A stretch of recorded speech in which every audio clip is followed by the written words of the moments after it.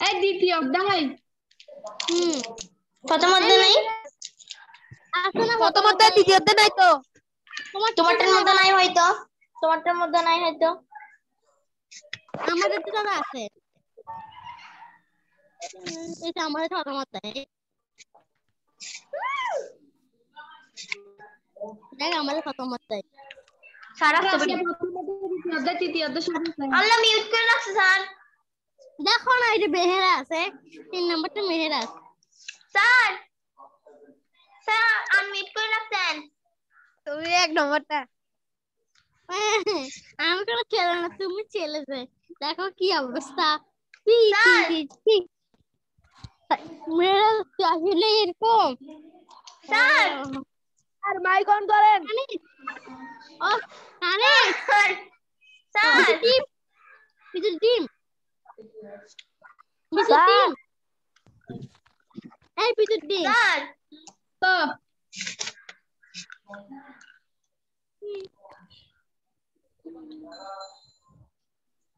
এই বই দেখাতে দেখাতে আমার যাচ্ছে গা কোন এই ঘরে বই দেখাতে দেখাতে আমার আমি তো ক্লান্ত আল্লাহ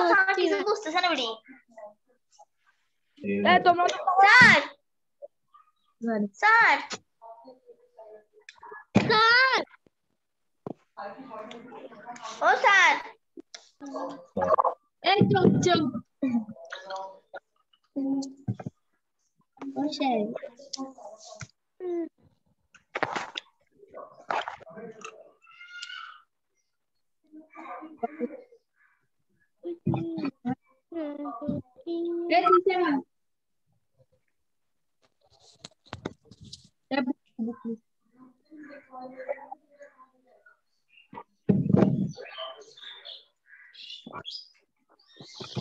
স্যার আপনার মাইক বন্ধ মাইক অন করেন কিছু শোনা যাইতেছে না।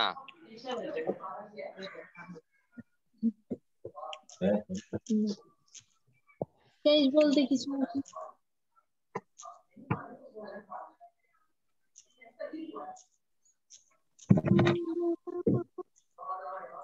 না স্যার কিছু শোনা যাচ্ছে না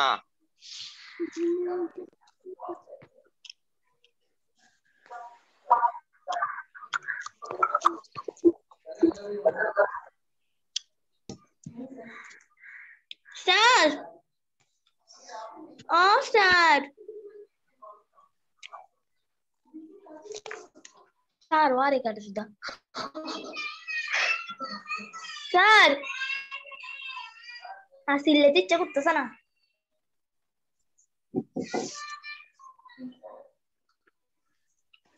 এই কানিস বলো বলতেছি দি পিমার জমা আছে ওরা। ওরা নাকি ঢুকতে ওরা নাকি ঢুকতে পারতেছে না বিড়ি। কেন?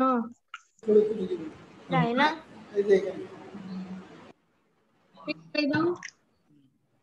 স্যার এখন হ্যাঁ? দাও? কেন ঢুকাবো? ঢুকতে পারতেছে না তো বলে। একটা লাল দাগ আসছে না? হ্যাঁ। এটা তুলে দিবেন মিউট মিউট করা আছে মিউট করা ছিল। এটা মিউট করে হ্যাঁ। এখন শুরু করছে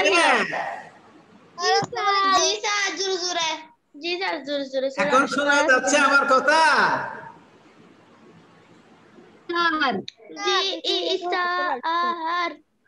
আচ্ছা এখন শুনো। তোমাদের ইসলাম ধর্মের মধ্যে সূচিপত্র দেখো। দেখিয়া তৃতীয় অধ্যায় ধরো তৃতীয় অধ্যায় তৃতীয় অধ্যায়। আর কত? তৃতীয় অধ্যায় কোরআন শিক্ষা। কোরআন কোরআন কোরআন ও হাদিস শিক্ষা ধরো তৃতীয় অধ্যায় তৃতীয়। দর্শক এই, ধন্যবাদ এতক্ষণ তোমরা শুনো নাই। কারণ যে এখানে মিউট করা ছিল। এখন আনমিউট করে দিয়েছি এখন স্যার কত কোশ্চেন লেছি স্যার কোশ্চেন তাও শুনেন নাই আপনি। আচ্ছা শুনো এবার। আমি তোমাদেরকে বলি তোমরা এই কোরআন ও হাদিস শিক্ষা থেকে এখন প- পড়া পাও।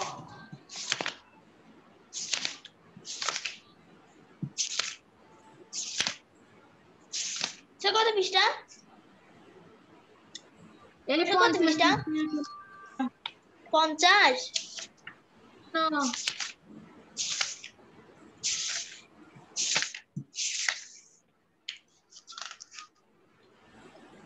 না বাহান্ন পৃষ্ঠা পাঠ প্রথম দেখতে পারো এত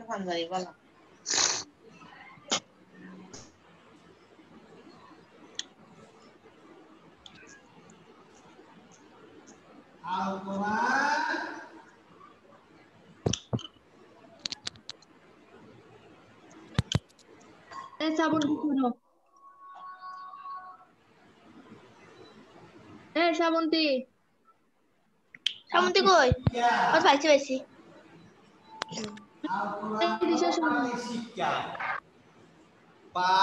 এক এটা বইতে তোমরা ধরো এখন প্রথমে আল কোরআনের শাব্দিক অর্থটা জেনে নাও আল কোরআন এটা একটি আরবি শব্দ। এটার অর্থ হলো পঠিত, যাহা পাঠ করা হয়েছে।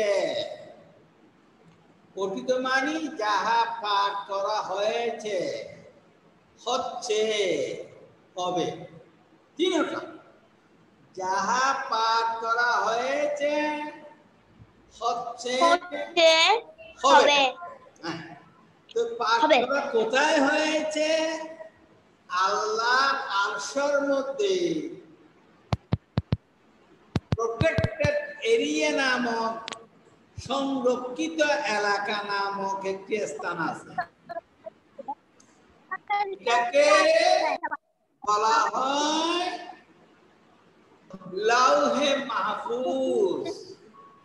ওই পৃষ্ঠায় দেখো, বল হুয়া কোরআনুম মাজিদ ফি লাউহিম মাহফুজ, লেখা আছে। অর্থাৎ কোরআনটি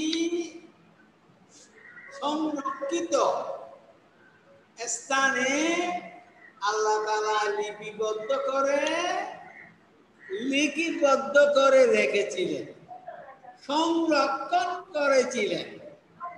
সেই জন্য এটার নাম পঠিত অর্থাৎ না পড়ে, রাখা হয়েছিল না। আচ্ছা। দ্বিতীয় কারণ? দ্বিতীয় কারণ পাঠ করা হচ্ছে। প্রীতি এই কোরআন অবতীর্ণ হইবার পর থেকে কোরআন হেরা পর্বতের গুহায় মহানবী সাল্লাল্লাহু আলাইহি ওয়াসাল্লামের উপর সূরা আরফে পাঁচটি আয়াত লিপিবদ্ধ করছিল যাহা এই পাঁচটি আয়াত অবতীর্ণ হয় জিব্রাইল ইসলাম আসিয়া মহানবী আলাইহি ইসলামকে বললেন কি করা আপনি পড়ুন। আর উত্তরে আমাদের মহানবী আলাইহি ইসলাম বলেছিলেন, আনা হ্যাঁ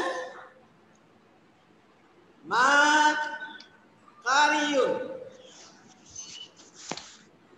আমি কারি নয় পড়ুন নয় আমি তোমার কথায় আমি পড়ব না। আবার আলাইহিস বললেন এ কারা? তিনি বললেন, মা নাকরাউ মা নাকরাউ। আমি পড়ব না। তৃতীয় সময়, জিব্রাইল আলাইহিস সালাম তাকে আস্তে করে জড়িয়ে ধরে। বললেন যে হে নবী, আল্লাহ নবী, আপনি এবার পড়ুন, আল্লাহর নামে পড়ুন। তখন তিনি পড়া শুরু করে দিলেন, ইকরা বিসমি রাব্বিকাল্লাযী খালাক। খালাকাল ইনসানা মিন আলাক এই সুরাটা তিনি পড়া শুরু করে দিলেন। এই পাঁচটি আয়াত সূরা আলাকে তিনি পড়লেন। সেই জন্য বলা হয়েছে ওয়াহাজা কিতাবুন আনজালনাহু মুবারাকুন। ফাত্তাবিউহু ওয়াত্তাকু লাআল্লাকুম তুরহামুন। এই কিতাবটি, এই কোরআনটি খুব মর্তবাযুক্ত ভাবে তোমাদের উপর অবতীর্ণ করা হয়েছে, তোমরা এটাকে আঁকড়ে ধরো এটাকে মেনে চলো। তখন তোমাদের আর কোনো অসুবিধা হবে না। তাহলে বোঝা যাচ্ছে যে রহমত সৃষ্টি হবে তখন। এই কথা বলার পর আর কোনো কথা থাকে না। অতএব আল্লাহ তালা মহানবী সাল্লাহ ইসলাম কে? তেইশ বছর পর্যন্ত এই কোরআন অবতীর্ণ করেন হেরা পর্বতের গুহায় শুরু। তারপর অন্য গানে অন্য গানে পথে, পাহাড়ের ডালে, অন্য কোথায় ঘরে বা অন্য কোথায় রাস্তার মধ্যে গোড়ার পিঠের উপর কোথাও যাচ্ছে ওখানে এইভাবে তিনি কোরআন অবতীর্ণ হলে সেগুলিকে তিনি মনের ভিতর গেঁথে রাখতেন। তিনি একবার এই কোরআন শরীফ অবতীর্ণ হচ্ছেন, সেটা জিব্রাইলের যত পড়ে তিনিও সাথে সাথে পাঠ করতে থাকে, পাঠ করতে থাকে। সেটা আল্লাহর কষ্ট লাগতেছে আরে আল্লাহর বন্ধু, এই শুধু আমি আমার বন্ধু, এটা করতে থাকবে, এটা করতে থাকবে, এটা আল্লাহর কষ্ট হচ্ছে। তখন আল্লাহ তালা বলছেন, হে নবীজি, তোমার